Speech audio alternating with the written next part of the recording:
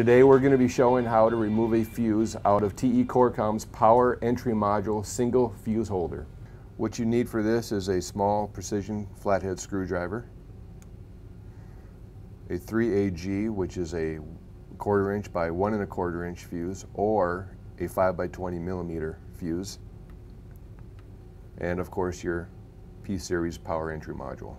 So to remove this fuse holder uh, at the lip of the cover, there's a couple of slots. Just take your flathead screwdriver and pry one of those slots up, lift up the cover. There's also another slot beneath the lip of the fuse holder. So just pry that up. It should come right out. You'll notice you have two sources. You have 115 volts and you also have 230 volts. On your line of sight at 115 volts, if you're going to use that source, make sure uh, your fuse goes in to the right side looking down. That's your hot side. If you're going to use a 230 volts, use your right side again when looking down at 230 volts. Or you could use both.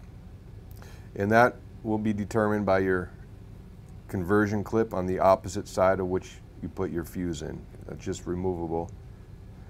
Because of this conversion clip, it will only go in one way. So just remove the fuse with your flathead screwdriver. Pretty simple to replace.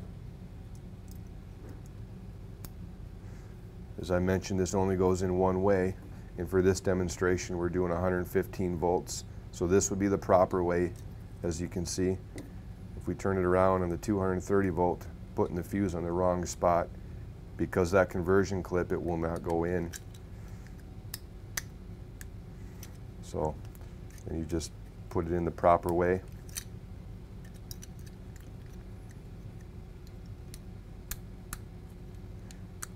There you have it. 115 volt is your line of sight. So you can see, once you know your power source, it's easy to replace the fuse for your TE Corcom's power entry module. Thanks for watching.